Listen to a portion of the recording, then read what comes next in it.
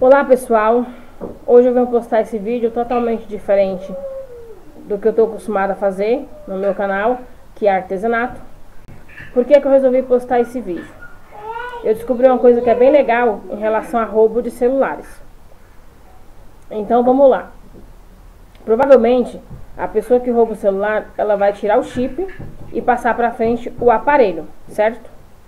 Só que eu descobri que há uma maneira de bloquear o aparelho e mesmo que a pessoa que compre ou receba um aparelho roubado ponha um chip novo no aparelho, ele não vai funcionar e o aparelho vai ficar inutilizável.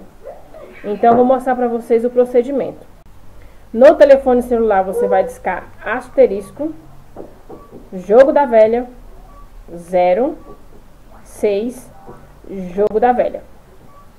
Vai aparecer no seu celular uma numeração de 15 números, que chama-se código e-mail.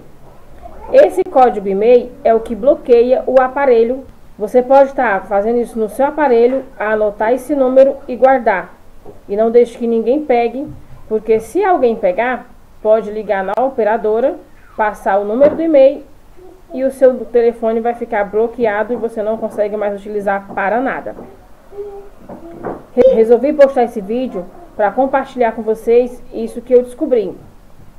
Como está chegando agora o fim de ano, então para vocês ficarem atentos e caso isso aconteça com vocês do aparelho ser roubado, é só anotar esse número e guardar. Liga na operadora, passa esse número e eles irão bloquear o aparelho e não vai ser usado mais para nada. E é isso, gente. Resolvi postar esse vídeo para vocês. Peço que divulguem nas redes sociais. Quem sabe assim nós consigamos deter os roubos de celulares. Porque se um aparelho está inutilizável, é óbvio que ele não vai funcionar para nada. Espero que vocês tenham gostado desse vídeo. Se gostou, dá um gostei.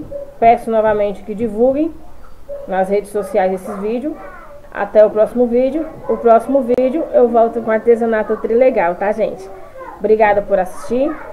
Fiquem com Deus. Tchau, tchau.